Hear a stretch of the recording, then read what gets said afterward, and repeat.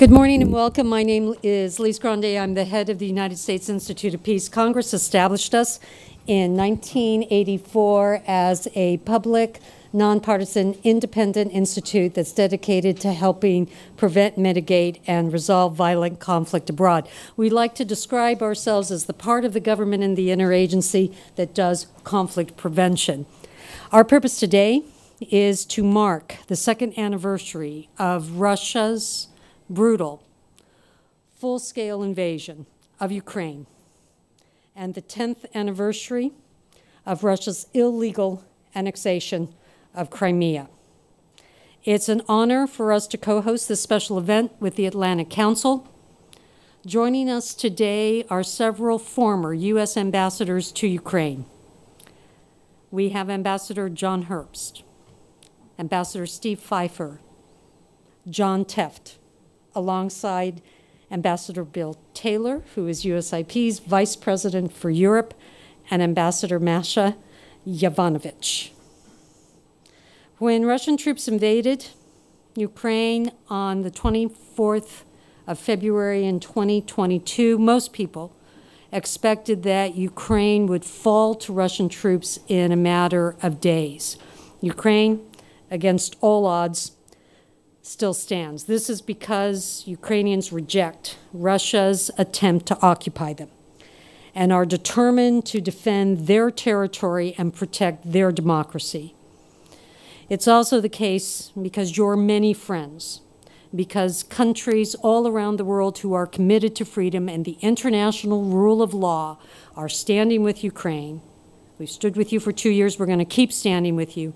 And we are determined to provide as much support as we possibly can. Two years on, while Allied powers are grappling with war fatigue and some question whether they can continue their essential aid, some question.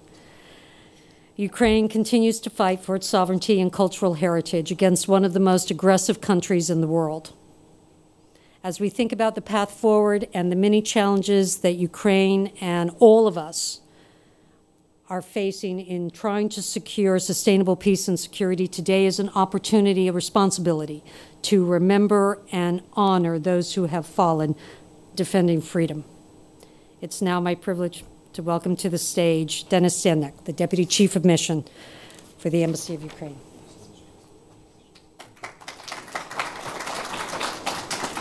Thank you so much, uh, Liz, and, uh, uh, and thank you everyone for being here. It's a really a circle of friends, and I can feel that. And, and thank you for everything you do for Ukraine. You've been doing this uh, terrible uh, two years of uh, full-scale aggression. For every word you say, for every message you bring here and elsewhere to help Ukraine fight for our common future. Cooperation and determination. These are my answers to the questions of ending the war and bringing peace closer. The less determined we are, the further Putin encroaches on our boundaries. The Russia-Ukraine war has been going on for 10 years, as you know. Exactly 10 years ago, so-called little green man flooded Ukrainian peninsula. And unfortunately, the lack of robust international response has led us to what we have today. 200 round of talks between Russia and Ukraine took us nowhere between 2014 and 2022. All 20 ceasefire regimes were broken by Russia. So while we were seeking peace, Putin was preparing for a major attack that, that shattered millions of Ukrainians two years ago. 220,000 Russian troops invaded Ukraine from nine directions from the east, from south, and from the north. Most countries, as Lee said, wouldn't believe that Ukraine would withstand, but we did. Under more than 3,000 guided bombs since February 2022, more than 7,500 missiles, more than 3,700 Shahed drones. The war caused huge destruction, huge casualties. So many people died. So many people became victims of Russian war crimes, whether it's torture, it's rapes, it's using civilians as a human shield. Basically, whatever comes up to your mind about the war crime was there and is still there what Russians do to Ukrainians. Putin has made it clear that the only language he can speak is the language of force. And thanks to Ukrainian resilience, we, we, we were able to withstand in this genocidal war. But is obvious that we would not have been able to do that without international support, without you. And I want to express my sincere gratitude to, to, to all Americans, to all, of you, to, to all our partners around the world for, for standing with Ukraine in those difficult times. And not to allow Russians have that deadly advantage over Ukrainians. For, thank you for all who understand that giving Ukraine weapons is not to escalate, but to deter the aggression. It's so important to keep that in mind. We've been feeling, you know, uh, for so long that sense that, well, we don't want to escalate the situation on the ground not to provoke Putin to do even more harm doesn't work. And we have proven that with the necessary assistance, we can show the results. We, we liberated 50% of uh, Ukrainian territories occupied by Russians since 2022. We cleared Black Sea from Russian military presence. We destroy, destroyed one third of Russian Black Sea fleet. It's a lot. We, we secured the grain corridor.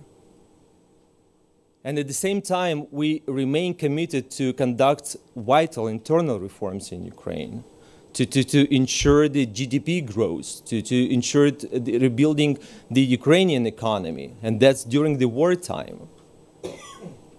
And at the same time, the total enemy losses far exceed the Ukrainian losses in times.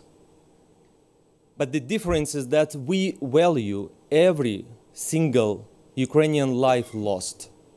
Putin doesn't. And that is why he openly said that he is ready to, to send more and more Russian troops to die in Ukraine. And on the other hand, we can see that the lack of necessary resources leads to new territorial gains by Russia. And the example of Avdiivka is evident, unfortunately. Ukraine is open to a political settlement, let me be clear. And that is why the president of Ukraine proposed uh, the, the, peace formula, and we are working on the first uh, uh, peace formula summit because it is the only realistic plan to, to, to, to, to restore Ukraine's territorial integrity and to ensure the just and lasting peace. However, as we talk about peace, we must be ready to win it, and in case with Russia, to win it by force. This year is crucial. Not only we, but Putin can feel the momentum. And robust steps must be taken. I'm talking about increased sanctions against Russia, confiscation of Russian assets and diverting them to, to rebuild Ukraine's economy, preparing grounds uh, when Putin faces justice in front of the International Tribunal. But this list will never be full without Ukraine being able to fight for its future, for our future, for the global order that has been undermined so much already and can be ultimately ruined at any time. That is why the new supplemental for Ukraine is so vital. We need more missiles, long range missiles, air defense, munitions, in order to be able to, to, to rebuck the, the, the Russian troops that exceed us in numbers. Putin has said that the Russian border doesn't end anywhere. And Ukraine is a test for Russia. If, if Ukraine loses, Russia will turn its and already our Ukrainian resources against you, against the West. Have no doubt in that. So it's Putin either defeated or the whole international system collapses. There is simply no middle ground, I'm afraid. So the international alliances must be strengthened, no doubt. More investments must be made into uh, our own security, that's for sure. But all this may be too late if Ukraine doesn't receive the necessary tools now, this particular moment. And if Russia is not stopped in Ukraine, the cost of restoring the, the, the, the order in the world will be much higher. And eventually, unfortunately, every household around the world will be affected by the Russian aggression. So let me finish by saying that uh, we might have to answer one simple question today. What world we all want to live in today? Whether it is the Putin's world or the world we've been working for so many decades to ensure peace and stability working for our kids and our future generations. I thank you for your support. Thank you so much. Thank you very much.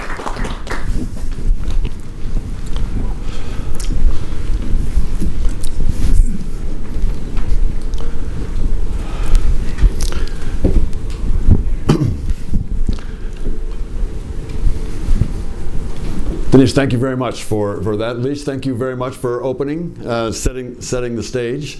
Um, we have uh, joining us uh, here John Herbst, as uh, Lise mentioned. Uh, we are co-sponsoring with the Atlantic Council. John, thank you very much. Masha Yovanovitch here on the stage, in the middle here, as she wanted to be. John Tefft, Ambassador Tefft is joining us, and Steve Pifer is joining us uh, as well online. This is a great, and, and, these are not the only ambassadors here. We have a couple of other ambassadors in the in the room. I, I see, I see Bill Courtney, and I see I see Bob Bradtke. There are probably others that somebody. Uh, I said Bill Courtney. Yes, uh, was, uh, got it, got it. Who can miss Bill Courtney? this is a, this is a solemn time. I mean, let's let's be clear. Two years of uh, of this fight, um, and as both Lise and, and Denise just said, um, this is a this has been a hard time. It's a hard time.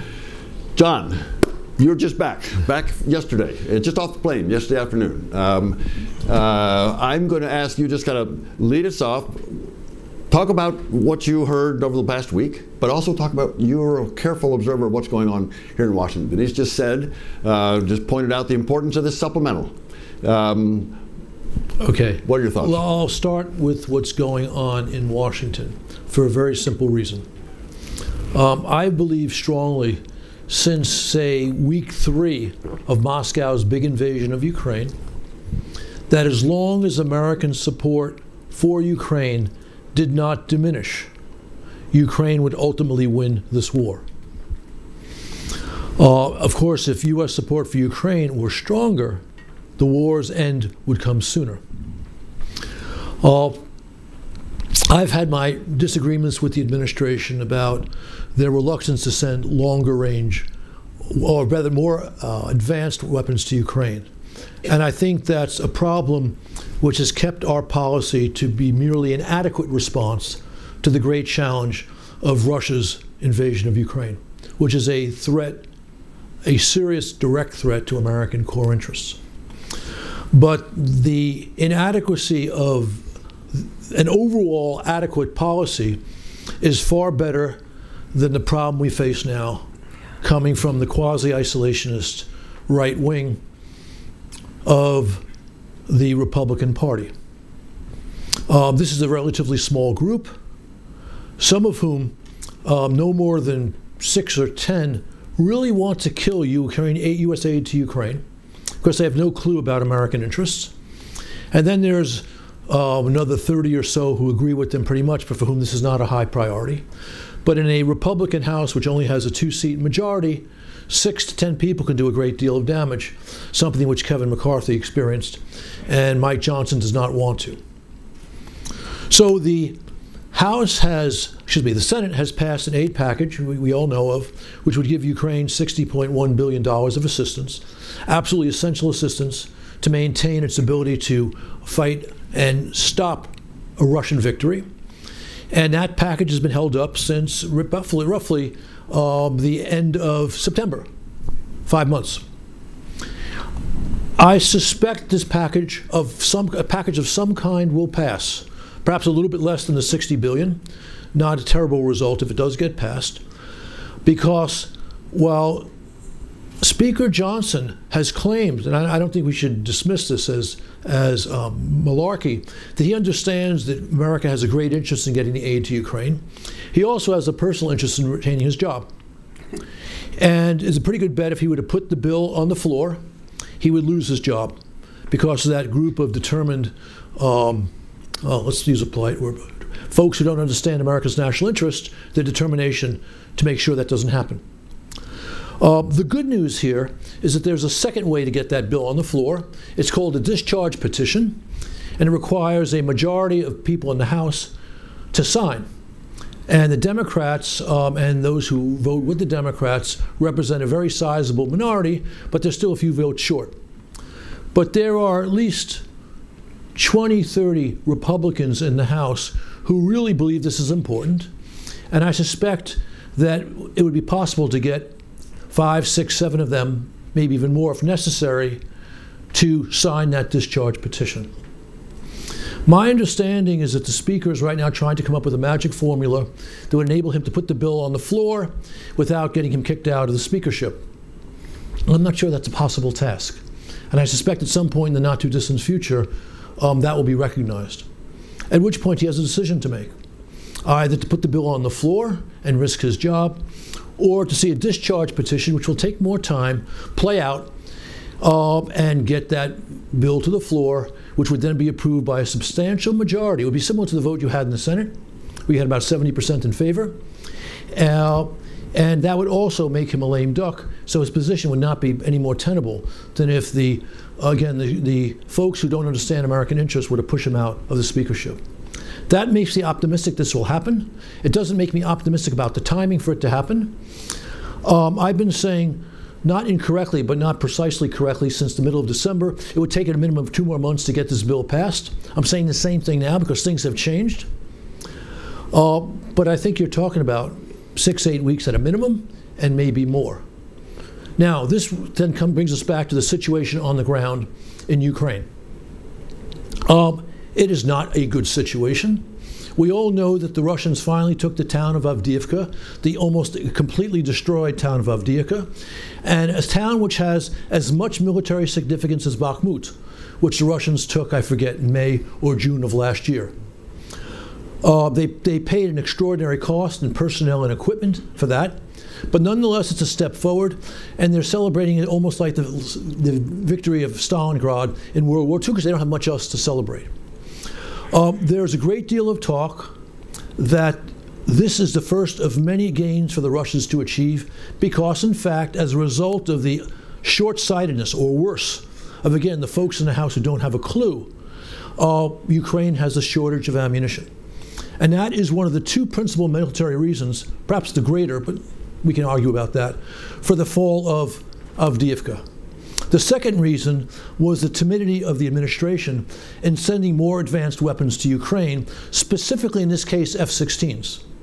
Had we made the right decision, say 18 months ago, to send, say, scores of the hundreds of F 16s that we have in storage to Ukraine, so they had them on the battlefield in, say, August or September of last year, the Ukrainian counteroffensive would have been more remarkable on ground, and Avdiivka would have been solidly in Ukrainian hands. The, because the Russians have sub, substantial air dominance over eastern Ukraine, and with that air dominance, they were sending glide bombs at Ukrainian positions after Avdiivka. They had to retreat. So here's a clear example of bipartisan incompetence in the United States contributing to a bad result in Ukraine and a blow against our interests. Because again, if Ukraine were to lose this war, we would have to face Russia further to the west at much greater cost. American leadership would be in the gutter. Uh, it's a more polite word than the one I had in mind, uh, as a result of this failure of leadership. I think I've probably said enough. John, you've done well. you, you, but notice I was bipartisan both, in my criticism. You criticism. were bipartisan in your criticism. No, that's exactly right. Um, and you talked about what's going on here. And oh, uh, excuse me, Bill. I forgot to and mention what's one more going on thing. there. Yeah. A lot of folks in Ukraine, well informed, well intentioned, and more people outside of Ukraine who don't know that much but have a need to opine, think that Moscow is going to make serious gains in the months to come. Um, I can't rule that out. I'm not a prophet. I'm not a former military guy, although I talk to lots of former military guys. We have a really great network of ex generals. Uh, I don't think that's true. Uh, I believe that Moscow can make small gains in the coming months, even without this ammunition problem resolved, which is my understanding. I need to add, Bill, I'm sorry.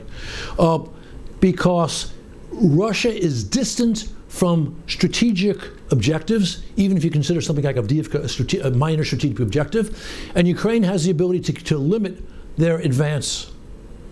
And what I've just said is heightened by the fact, or made more likely by the fact, of the one really good thing that happened at the Munich Security Conference. Um, actually, there were two really good things that happened at the Munich Security Conference. The first and more important was that a real statesman, the president of the Czech Republic, General Pavel, commented at Munich that there are hundreds of thousands of rounds of ammunition on the international market for purchase. And if the West was so good as to purchase and deliver to Ukraine, which could be done in weeks, things would be notably better for the short term. Canada has volunteered to buy it. So this is something which could be short term help, but let's watch this space. The other good thing in Munich, reiterated in Kiev, was the Prime Minister of Denmark, another stateswoman a Maggie Thatcher, I've got the guts as well as the brains to do things, has offered Ukraine weapons in the service of the armed forces of Denmark because the Danes do, are not at war right now, Ukraine is, and Ukraine is fighting Denmark's, the West, and the American war. That was a, and then of course she then went to Kiev to, with Zelensky to nail this down. Would that we had such strong leadership in the great powers of the alliance. Thank you, John. Thank you. I'm done. Thank you very much. so, Ambassador Pifer, um, you um, served in in, uh, in Kiev uh, early on. Um, you have also, when you came back, when you were in Washington, you had something to do with with some of the nuclear decisions that the United States and Ukraine made. Um, uh, the, the, deputy chief of mission mentioned this question about escalation, um, which by implication has a nuclear component. Um, Steve, do you want to uh, make a couple of comments about both the, the previous efforts um, and how they are playing out today, uh, on the nuclear issue and how they're playing out today?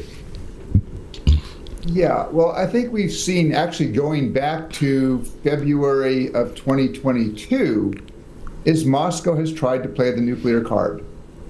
Uh, three days after the major invasion was launched in February of 2022, Vladimir Putin said we have put our nuclear forces on a special alert status.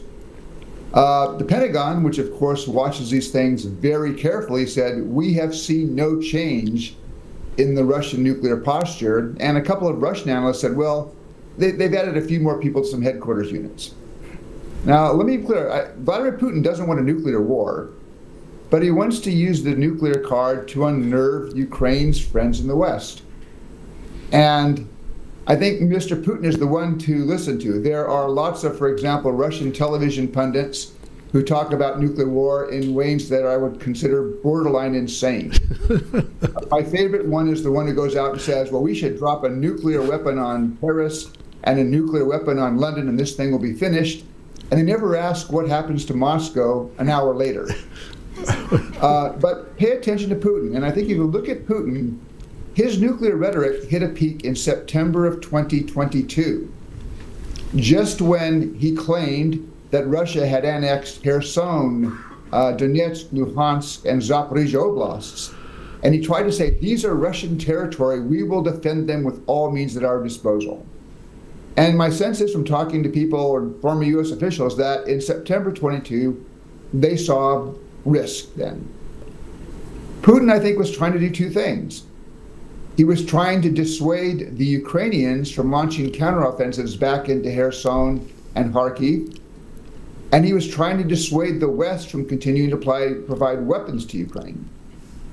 Well, what he saw is Ukraine kept on fighting. I, mean, I think for Ukrainians, and I think John can confirm this from his trip you know, just there, Ukrainians view this war as existential. If they lose, their vision of Ukraine as a normal European democracy is gone. And so nuclear weapons didn't change that calculation. They continued to fight on. Likewise, I think the West stumbled a bit for the first couple of days, but then the West came up with a pretty consistent reaction in Washington, at NATO headquarters, in London, Berlin, that if Russia were to use tactical nuclear weapons against Ukraine, there would be catastrophic consequences to Russia, period. Now, I also think that in the couple of weeks afterwards, the Russians or the Kremlin concluded the threat wasn't working with Ukraine, it wasn't working with the United States and Europe, and it was provoking a very um, different reaction in China and India and places that were important to Russia. They're saying nuclear weapons, what are you talking about? If you then go and look in October and November of 2022, there's an organized effort by the Kremlin to ratchet down the nuclear rhetoric. So Mr. Putin goes to this Valdai discussion club at the end of October of 2022. He's asked, well, what about the nuclear threats? And he says, that's not part of Russian doctrine. That's just the West trying to tarnish our good image. A week later, the Russian Foreign Ministry puts out a statement on preventing nuclear war, which says about 95% of what we would want it to say. And then uh, Sergei Lavrov, the Russian foreign minister, goes to Bali for the G20 summit and agrees to language saying nuclear threats, nuclear use are inadmissible and unacceptable.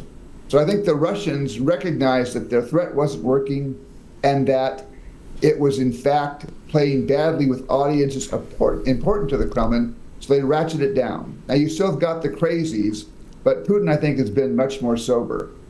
Now, looking at the impact of that threat, uh, I think going back to February of 2022, the Biden administration has said they have two goals to support Ukraine and to avoid a direct NATO Russian military clash. Those are the right two goals. But where I would be critical of the administration is in balancing the goals, they have been overly cautious. They have deferred to Russian red lines that aren't really there. Mm-hmm. Uh, and the result has been I think in the end, the administration tends to come to the right decision, but as John mentioned, you know, it takes them a long time. You know, and had decisions been taken more quickly, had weapons been provided to the Ukrainians more quickly, uh, the situation on the battlefield might be very different today uh, than it is uh, in reality. Steve, thank you. Exactly what we needed on the on the discussion of the nuclear and of the possibility now reduced, um, even as Bill Burns has said recently, reduced concern uh, about this escalation. Ambassador Tefft, John, um, you were there um, uh, in the run up uh, to the the first invasion um, of Crimea, and uh, uh, and so you saw that kind of uh, uh, that that concern uh, rising. No one saw that coming. I certainly didn't see that coming. Be interested in your thoughts of what what you were seeing there in Kiev, um, and then you went to Moscow. Um, you turned out uh, that your next post was the ambassador to Moscow uh, after that. So you saw that aspect too. Can you talk a little bit about about both of those uh, those periods in your in your tour?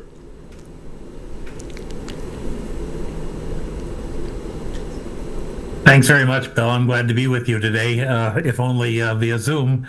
Uh, you know, I'm in the process of been in the process for a while of writing a memoir, and I've been able to get uh, a number of documents from that period declassified.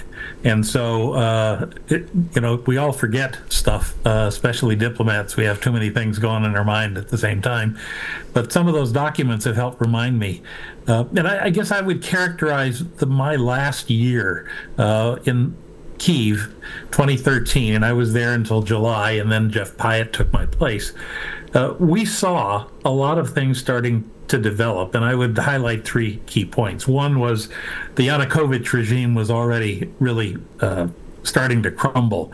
The greed levels, the corruption had gotten to the point where everybody knew uh, who who the quote the family as they called them, and this wasn't just the the sons of Yanukovych. This was uh, the the group surrounding him. Many of them now uh, living in exile in Russia with Yanukovych they were in the process of getting, you know, literally we, we heard stories where they would print hryvnia and then uh, cash it at the at the markets and then carry suitcases full of dollars down to the Gulf to the bank. I mean, it was that uh, obvious.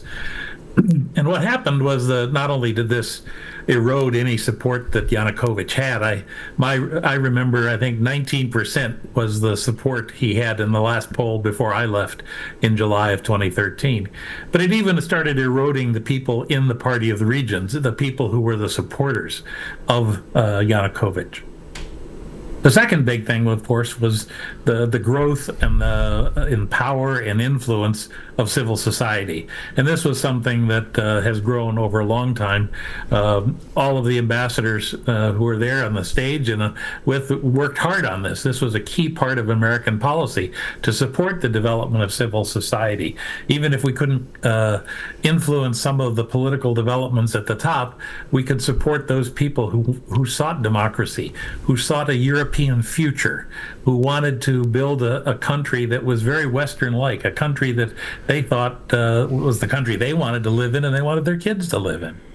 The third big part of this, of course, is the European future. And throughout most of my time in Kiev, we had a development, uh, we had a negotiation with the European Union uh, over an association agreement.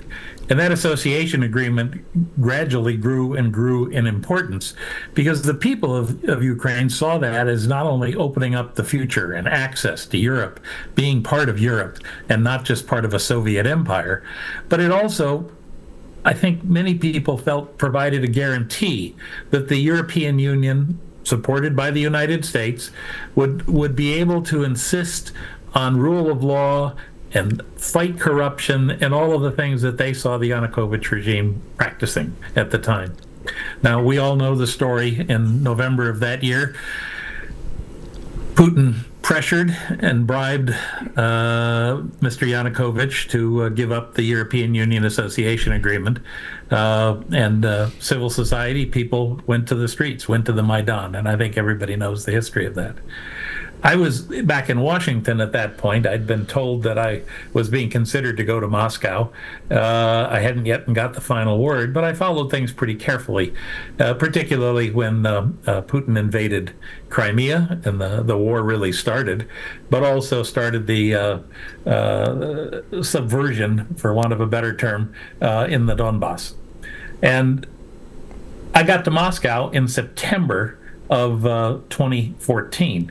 And of course, by this time, uh, you had uh, lots of people in Russia thrilled that Putin had reclaimed Crimea. Nationalism was going strong. St. George ribbons were on everybody. They uh, cars flying flags. It was a very nationalistic moment in Russia. Putin got a huge bump on popularity during that period. But as I've worked my uh, or engaged in my initial contacts there, one of the things that really struck me was how little the political elite, and I'm defining this not just people who are in the government, but people who are uh, in in the society, you know, people who are part of the Russian, part of the Putin group, whether whatever, being business or whatever, they didn't understand Ukraine at all. You know, I uh, it was just striking over and over again. People would argue that well, all those people in Donetsk they all speak Russian, so they must want Russia. Well, I was I'd been in the fortunate situation where between I think April of 2013 and the end of June, I was in Kherson, Mykolaiv, Donetsk, Luhansk, and I had talked to a lot of people.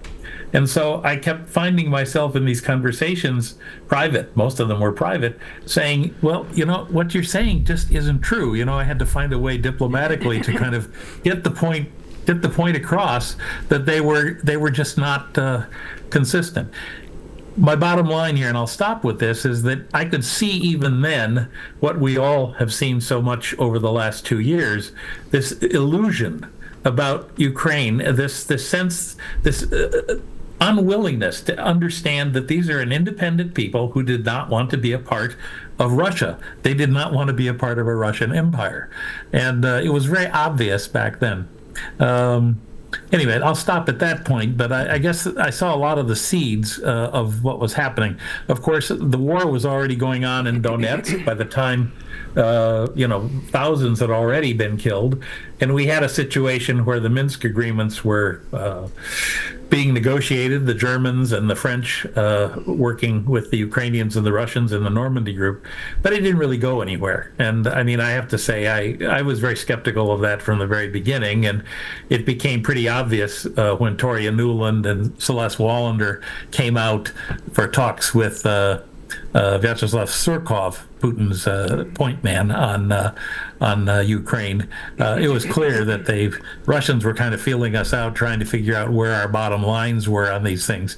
But really, we're not in any mood for any kind of compromise, and uh, we of course respected the Germans and the French, so we didn't get deeply engaged in the in the it didn't get engaged in the negotiations, but we tried to keep track of what was going, and it was pretty clear that uh, there wasn't much compromise. Nobody at that time my last point, expected Putin to do what he did in February of 2022. Uh, but you know, history history has shown us how how brutal and uh, uh, that invasion is, and how much it uh, totally lacked understanding of what was going on in Ukraine. And he's paying for it, John. You're exactly right. And he's paying for that mis- misunderstanding. Yeah, I think this is this is. I've always said when I give speeches that this was a strategic mistake of the first order, mm-hmm. and I, I think today, what we Americans, I was encouraged by what John said. I I wish we'd passed the bill, supplemental bill earlier, but we can't make a strategic mistake yes. at this point and not give assistance to Ukraine. Absolutely right. Uh, Bill, Absolutely if I could right. just make one addition, uh, I would just. So, Masha, Stop, Steve, what, uh, please. Sorry? Uh, just the modification to what John just said.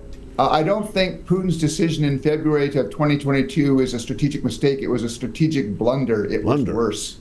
All right. And if you look at Russia today, Historic mistake. It's been a military loss in terms of lives and equipment. It's been an economic loss. It's been a geopolitical loss.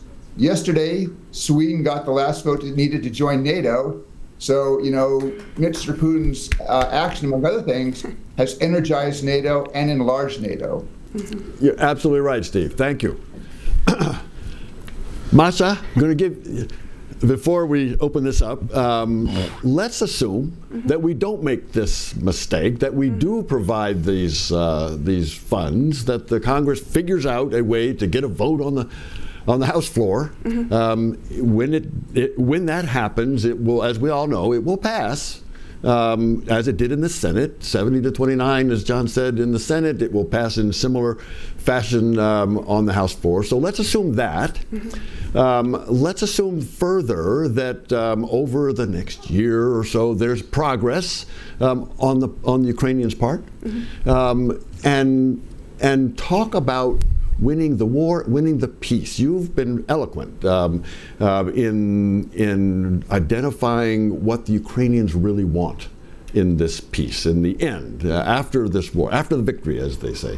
Um, what does this look like? What are, what are they what are they after? How can how can they achieve that? How can we help them achieve yeah, that? Yeah. So winning the peace in Ukraine, I think uh, you know I think the title of this um, conference is uh, the 10-year war, but it's actually been much longer. It's been since independence, and we are now reckoning with the um, dissolution of the Soviet Union. Uh, the imperfect peace, shall we say, that ensued after that, not only in Ukraine, but um, throughout uh, the former Soviet Union, and moving forward. And I think the Ukrainian people have spoken many, many times through multiple elections, through two revolutions, and through this war that started in 2014 and um, is you know continuing now with the total war, uh, Russia's total war on Ukraine that started in 22. And um, what the Ukrainian people have said is that they want to live in freedom, they want to be a part of the West. They share Western values of uh, democracy and rule of law. In fact, the Revolution of Dignity was all about living uh, according to the rule of law, something that, again, coming back to what um, you know, John Tefft had, um, um, had, uh, had, had noted, the Russians didn't understand Ukraine. Uh, and um, I think in part they didn't understand that the Ukrainians are a separate, a distinct people, a distinct culture, that they have a distinct language, that there is a distinct geographic space that is Ukrainian. And um, you know now they are perhaps beginning to understand um, that there is um, a Ukraine, there are a Ukrainian people, and the Ukrainian people know what they want, and that um, you know, on, on the one hand, I think um, the Russians didn't understand that from the beginning, or Putin didn't understand that from the beginning. On the other hand, I think they sensed it. They sensed that the changes happening in Ukraine since 1991, that got a boost in 2004, that got a bigger boost in 2014, um, that was propelling Ukraine in an important direction forward. It was leaving Russia behind, and that was profoundly threatening, I think, um, uh, to uh, to Russia. So, how does Ukraine um, win the peace? I think with more of the same, and I think that um, winning the peace you know, it started in um, uh, 1991, but it continues today, and it's part of all of the things that we've been talking about. You know, the three the three areas. One is, of course, security, moving forward with um, Ukraine's relationships. Uh, with other countries in the West, and particularly NATO countries, and particularly making that relationship with NATO as um, as close as possible. Um, and I think um, many of the people in this room would say ultimately uh, NATO membership. We've got a, um, uh, a, NATO summit coming up in July of this year. The administration has an opportunity to make history. Let's hope that uh, it, it, it, does so.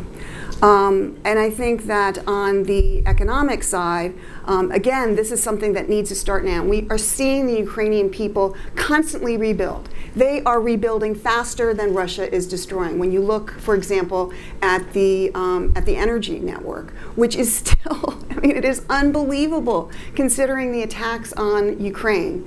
Um, the Ukrainians are managing to keep that um, electrical grid running and um, many other um, many other things as well.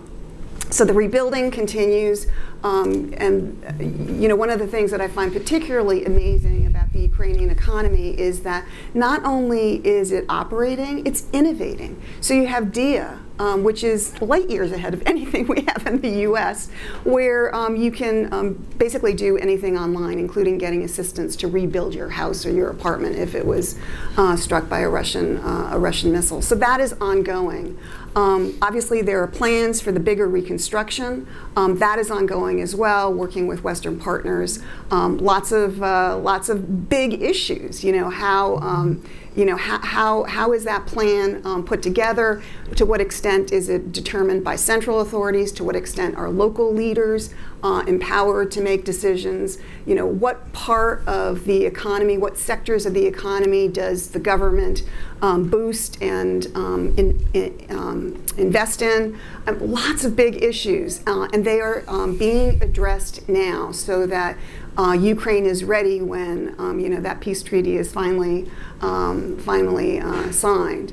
Um, so that is important. And I would say, you know, th- there's a lot of historical precedents. I mean, FDR started thinking about what the peace would look like uh, after World War II in, um, in 1942.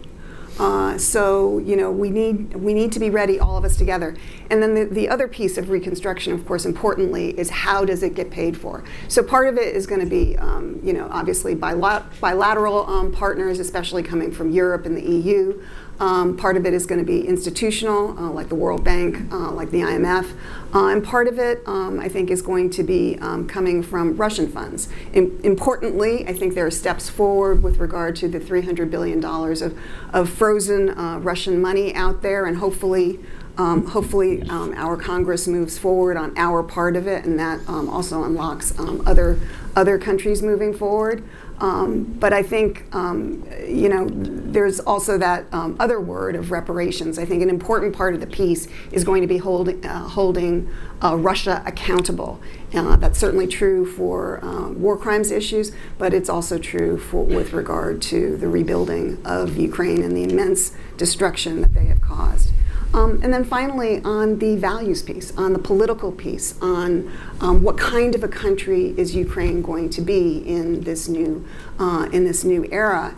And um, again, the Ukrainian people have spoken. It is very clear. They are not fighting this war to recreate the old system to make the oligarchs rich again. They're not.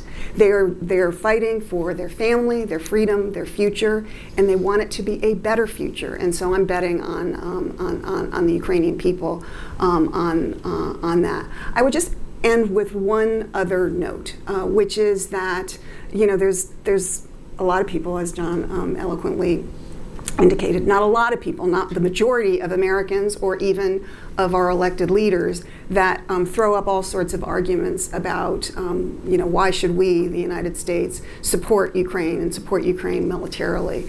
And I would just note um, that uh, the Ukrainians have been brave, they have been courageous, they have been principled, they have been resilient. Um, they know why they're fighting, just like we knew why we were fighting in 1776.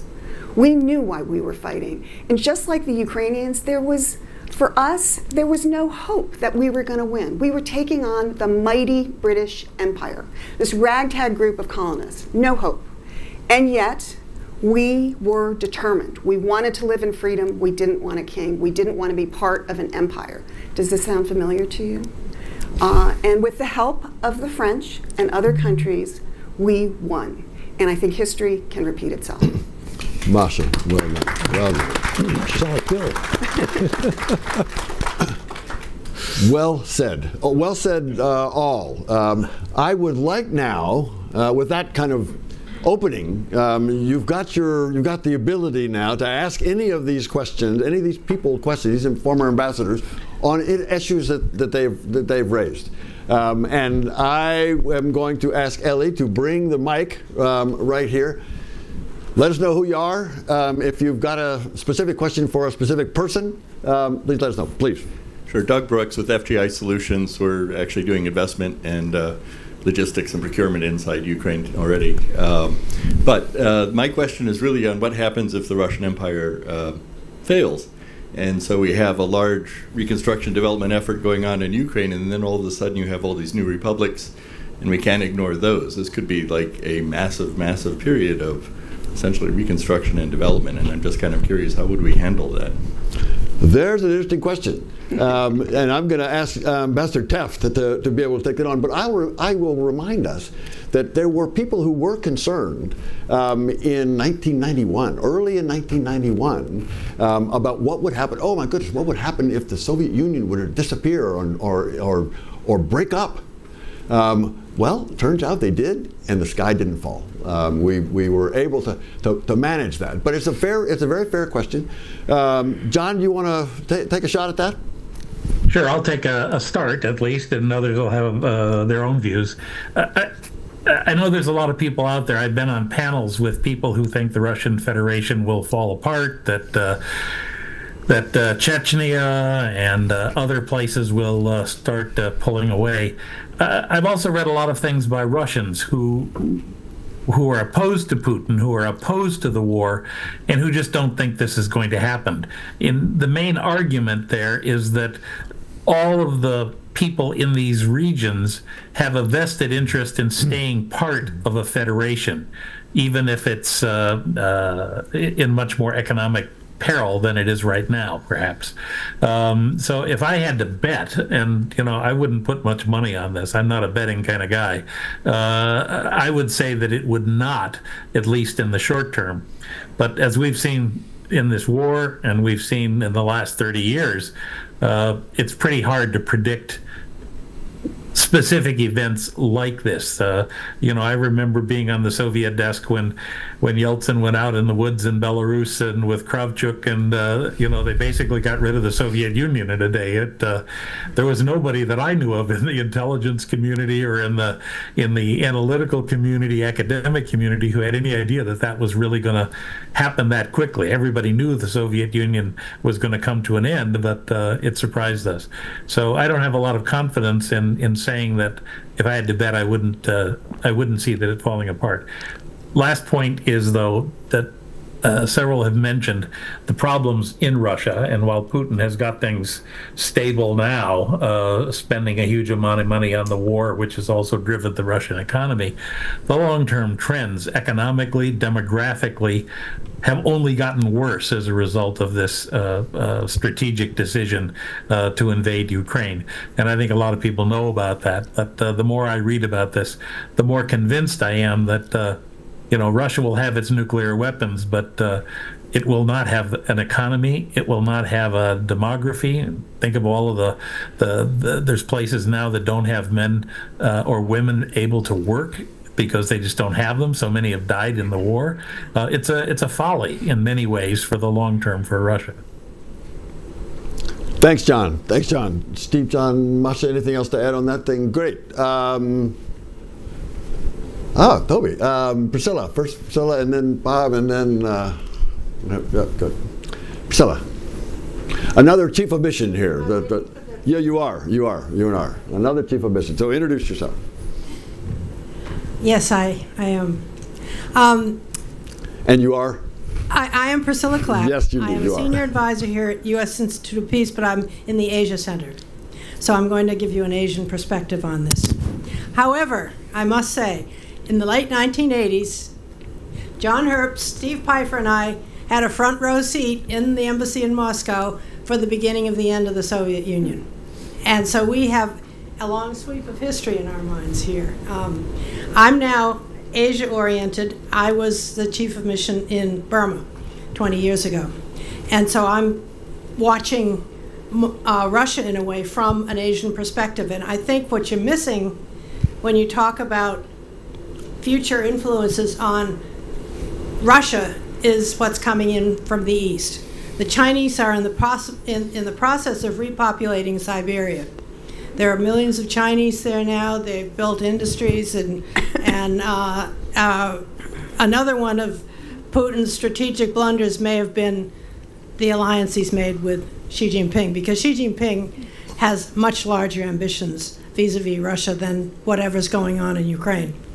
And I think that we, we need to look more carefully at what's coming at them from Asia. They don't understand. I've had this conversation from time to time with Russians, and they, they don't understand. Um, but I see what ha is happening with Chinese influence in Asia, and it is moving ever, ever westward. Um, and I think we have to, it's not just Xi Jinping, it's the Chinese. So I think we have to watch that. Priscilla, thank that's you. That's what I have. That's a that's a great caution. and it's a great observation. Um, if there's John, you want to uh, comment on that? Yeah. Uh, part of Putin's strategic incompetence is focusing on Ukraine and the West as a problem as opposed to China. Uh, we all hear about China loves to play the long game. And I'm not going to dispute that part of the Chinese long game is being played out along its border with Russia. Right now, we hear about this, this historically unprecedented friendship between China and Russia. We read about it in the papers. The Russians talk about it all the time. The Chinese also, to a lesser extent, but still talk about it. Yet, even in this unprecedented period of warm relations, Chinese academics, Chinese media, and even a third secretary at the Chinese embassy in Islamabad talk about, for example, Vladivostok as a Chinese city. The Chinese irredentist claims vis-a-vis not just Russia but also Kazakhstan, Tur- uh, not Turkmenistan, uh, Tajikistan, Kyrgyzstan are not being hidden. Um, I've actually written about this uh, going back three more years ago. Uh, this is where, at some point, uh, this will um, be a little be a little bit provocative today. Uh, you will find a natural U.S. Russian uh, partnership after Moscow gives up. I know uh, you don't, you don't like that. Um, see, I'm now annoying some of my Ukrainian friends. Uh, once Russia gives up its imperial ambitions in Ukraine, it will then begin to understand there's a problem in China. And just as we have defended our interests and our principles, although not strongly enough, to stop the Russians in Ukraine, we would have a similar interest in doing the same, keeping Russia territorially intact, at least the Far East, so that Russia, excuse me, China cannot make a gain. Because there's no doubt China is the greater long-term danger to the United States because they have a real economy, which the Russians have still not managed to create. Uh, last point. Uh, the Russian position is driven 99% by Putin. There are Russian experts who understand this, but they can't talk about it because this is an idée fixe for Putin every bit as much as the United States as his principal adversary. John, thank you. Thank you very much. Uh, Bob Bradtke and then Toby. I should say Ambassador Bob Bradtke. Sorry. Yes, I'm Bob Bradtke. I'm a former colleague of, of everybody on this panel from the State Department. Uh, I want to come back a little bit to what John was saying about Russia and what's going on in Russia, the, the kind of medium term future. Um, we've just launched a new round of sanctions against Russia related to Navalny's death. Uh, the press has been full of reporting that the sanctions really haven't put Russia under any pressure. The Russian economy is doing reasonably well. Uh, I'm curious to, to get a sense from any or all of you as to what pressure there is on Putin. If the economy is doing okay, if the sanctions aren't working, if he's got control of uh, dissidents and uh, people who want uh, to have a different policy, if he's under no pressure, how does that change this equation? Because it seems to me that, that he's not coming under any kind of pressure.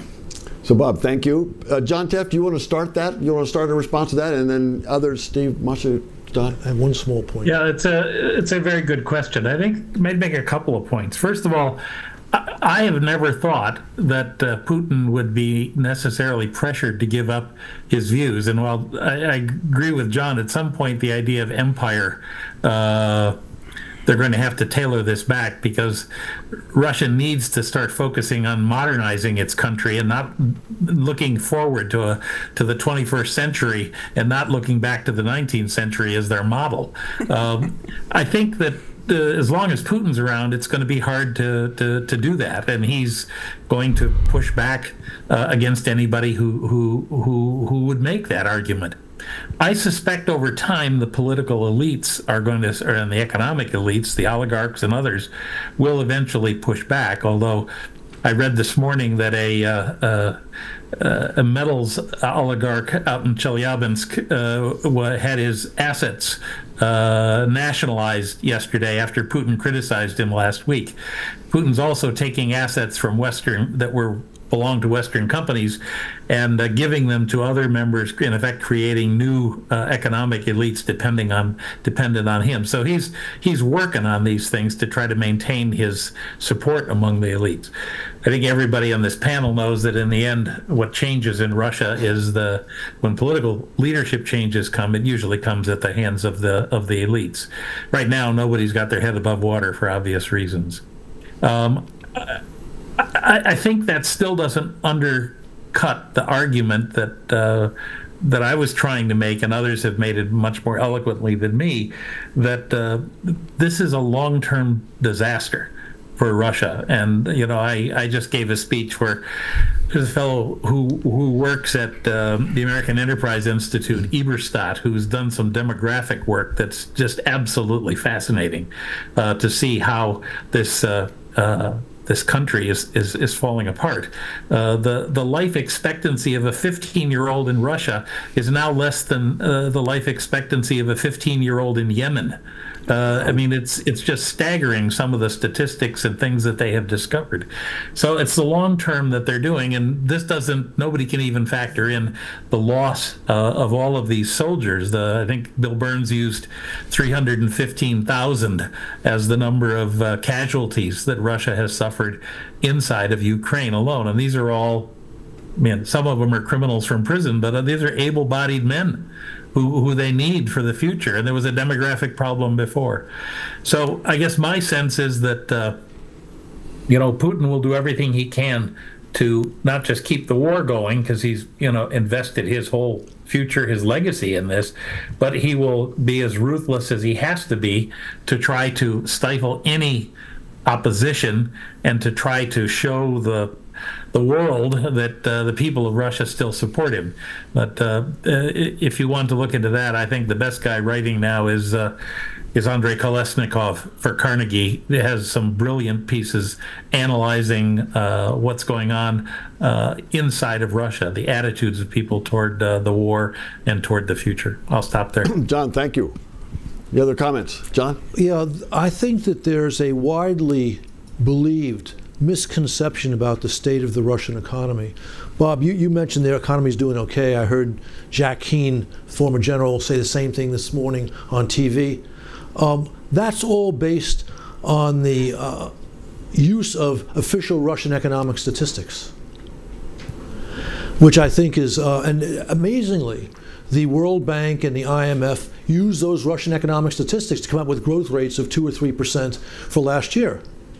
Why anyone wants to believe official Russian statistics, especially when Putin's trying to demonstrate sanctions have no impact, is beyond me. There's a professor at Yale, Jeff Sonnenfeld, who's written extensively about this. We all remember, Ben Bob, you were doing economics in the embassy in the mid 80s when you know the CIA expectations were based upon, again, official Soviet statistics. Well, we know how well that, that turned out. So I would, I would take those with not a grain of salt, but with a whole shaker. If I could just add one Masha. thing, you know, the question of is there pressure on, on Putin? Um, and I think it's just really hard for us to know.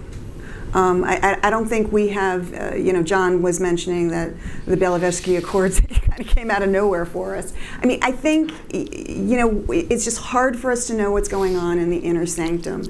But, you know, when I look from far, far, far away, um, where um, the I, I, mean I think we would probably all agree that, that if there were free and fair elections in Russia, Putin would probably win. But he's also stacking the deck. He's making sure that Navalny not only goes to the furthest away prison in the Arctic Circle, he's making sure he's dead. Um, he's taking any anybody that might have a prayer of getting some votes, like um, help me out, Nadezhdin, Nadezhdin, um, and taking him off the ballot. Um, and I think we're probably going to see other, um, you know, not to mention all the other repressive measure, measures we're seeing in Russia, um, but uh, focused around the March elections as well. And that, to me, I mean, it's certainly a sign of authoritarianism, but it is not a sign of strength. And so he must be feeling some pressure. Thank you, Masha. Uh, so Toby um, oh, here. No, Steve wants to. Up, up, sorry, sorry, Steve, Steve. sorry. Yeah, just, just, two points on, on, the economic side. Uh, just a second to what uh, what the, John and John have said. Um, I mean, even if you accept Russian state statistics, remember last year Russia massively increased its defense spending. Mm-hmm. So, to the extent that the economy is seen yeah. as growing a little bit or stagnant, that's because of defense spending. It's not making the life of the average Russian economically any better. Uh, the second point is, I, uh, to get back to what's already been said, is the importance of the West making clear that its commitment to provide Ukraine with the weapons and the ammunition and the wherewithal to continue the fight, how important that will be. Because I think if you're in the Russian public or the Russian elite, and even in the inner circle, at some point you have to ask yourselves, how long can you continue this fight and continue to see your husbands, your sons, your brothers coming home in body bags from Ukraine uh, because of one man, Vladimir Putin, and his obsession with Ukraine. Uh, so I think the Western commitment is very important, and that may ultimately have some impact on both how the Russian elite and the Russian public view this war. Thank you, Yeah, Steve. Thank you. Toby. Thank you. Uh, Toby Gati. I was in the government during the Clinton administration in the, sorry, Toby Gati. I was in the Clinton administration in the White House and head of INR for three years. Um, what I recall very strongly in that early period was a distrust of Ukraine at that time it, as corrupt, as not uh, a reliable partner, and believe it or not, the reliable partner was going to be Russia. Uh, obviously, a lot has uh, changed, but this is a very important point because it's the way you, we treated the country, the way we saw it, the expectations we had, and the ability to work with it. Um, so I think it's really. Um, uh, we had a big learning curve, and you guys have done a fantastic job in educating the rest of us about Ukraine. But you know that anyone who was a Russian major had very little to do with Ukraine in any way. And I see some people shaking their heads, but I just, you know, I- from the jokes to the literature to everything else. And so it was really important when Ukraine became uh, was able to stand on its own. We had a big, um, our, you know, our education didn't um, permit it. I know John uh, uh, Tefft, you would know a lot of this from the declassification, which none of us um, have been uh, doing very much. But there was really a focus on Russia, um, almost exclusively in terms of economics and whatever. And we spent two years helping Russia with its economy. And by the third or fourth year, we ran out of steam. Does that sound familiar? And so when we talk about Ukraine and Russia as problems, I think we ought to talk about the United States, which you've done as a problem. My questions are two. The first is your discussion of Russia has been almost exclusively Putin's Russia. So my question is what are the Russians who are the other Russia? How do you how do you view them? Do they have any role, the exiles or any of the groups, to play? Because they still do talk to Ukrainians. They don't advertise it, but they do. Is there anything that can be done here to build that lower level of uh, trust or uh, trust? That's the wrong word. That- Understanding. Talk, just talk. Just would be fine. Um, and can we? Um, John. um, you know, in Europe, there's a whole discussion about decolonization, which for us is a kind of crazy word, but they mean the decolonization of the Russian Empire. And we ought to listen a little bit to that. My second question, and um, Asha, this is to you. I like 1776. I'm a big fan of Hamilton and, you know, I mean, all this stuff. But for most Americans, I wonder if the real analogy, and for the Europeans, this is for sure the analogy, is in 1936. Mm-hmm. The Sudetenland and everything like that. And I really think that we should be talking in terms of what happened after that. Because 1776 is, you know, maybe for, the- Supreme Court it's really important, but for the rest of us, it's, um, it, it was a long time ago. Toby, So- thank you. This is very, very useful. Two, two good questions. John, do you want to do the kind of people-to-people question um, that, that Toby asked, and Masha, do you want to do the 1776 one? And this, I'm afraid, will be the last question. But uh, John and Masha and several people will be here to answer other questions after we wrap this up. But um, John Tefft. Yeah, I think that the uh, people-to-people uh, issue is something that uh, you know, not just in Russia but in Ukraine and other places. We we we State Department diplomats and the people uh, who work with us, we work really hard on this. Even in Russia, when I was there from 2014 to 2017. Uh, my wife Mariella and I traveled as much as we possibly could. Embassy officers traveled as much as they could. We tried to reach out to uh, not just local people, but uh, everywhere we went, we would have lunch or dinner with uh, uh, um, uh, Russians who had been uh, on grants coming to the United States, either educational or the uh, the Billington grants, the Open World grants, and it was a good chance to kind of reconnect with them. Uh, I, I, don't think that Lynn Tracy, our current ambassador, is able to, to really travel and do that much right now. But I do know from talking to her that uh, she and her staff are working uh, to the extent they can. It's a very limited staff, as I think everybody knows, to try to maintain some of those people to people ties. Um, and I know uh, that there's a lot of people in this country, in academic institutions and others, uh, where uh, we're staying in touch with uh, Russians who are in, uh, in exile, who have fled the country for, for obvious reasons. and I think we need to continue to do that. as I look back, and this will resonate with most of the others on the panel, uh, one of the great things that the United States did in Eastern and Central Europe since 1991 was to invest uh, money. We could have invested more uh, in uh, in different grants and the people-to-people kinds of programs. It built the uh, uh, I think, an understanding of our own country, but kind of the, the relationships, often not official, but private relationships. And that certainly, uh, when the moment comes, uh, we're going to have to. I know we're investing some money now, but we we need to continue to do that because it's uh, building from the bottom up, as it were, to try to. Uh, uh, uh, regain some of the the ground that's been lost during the last two years, in particular. John, thank you, thank you. Masha, yeah. 1776, 1936? yeah. So um, I, I, think there are probably um, other points of history or uh, years that we could look to to make different points about this war. Uh, and I completely agree with you that 1936 is a very apt analogy. I mean, this is an existential war for Ukraine. I mean, if, if, if Russia keeps on, there will, you know, it, it will be a very um, sad time for Ukraine. Um, but I think that what we all recognize is that uh, this is not only an attack on Ukraine, it is an attack on the West, it is an attack on the US, on NATO, and it is an attack on the uh, international system.